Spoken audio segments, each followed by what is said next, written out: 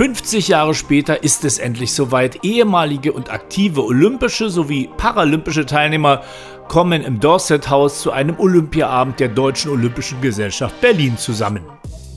Und das wird gebührend gefeiert. Denn genau vor fünf Jahrzehnten fanden zu dieser Zeit die Weltspiele in der bayerischen Landeshauptstadt München statt. Die Sportentwicklung profitiert davon heute noch. Es waren fantastische Spiele, obwohl wir alle betroffen waren durch das Attentat. Aber die Spiele sind weitergegangen und haben ein Zeichen für ein Miteinander und für die sportliche Entwicklung gesetzt. Und die Freude bei den Gästen ist groß, sehr groß. Schließlich haben sich viele Jahre lang nicht mehr gesehen und sogar noch nie. Dabei darf ein reger Austausch über Neuigkeiten rund um das aktuelle Sport- und Privatleben nicht fehlen. Ist ja klar, auch alte Geschichten, prägende Erlebnisse und Erinnerungen an die Olympischen Spiele werden zum Besten gegeben. Ich habe mich unwahrscheinlich gefreut, als ich diese Einladung erhalten habe.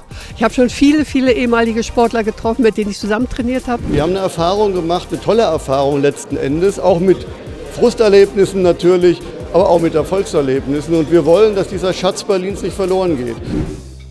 Ein reichhaltiges Angebot an leckeren Spezialitäten und ein Talk mit der neunfachen Paralympicsiegerin Marianne Buckenhagen, mit Natascha Keller, der Olympiasiegerin von Athen und Ronald Raue, dem zweifachen Olympiasieger im Kanu-Rennsport, runden das Treffen ab.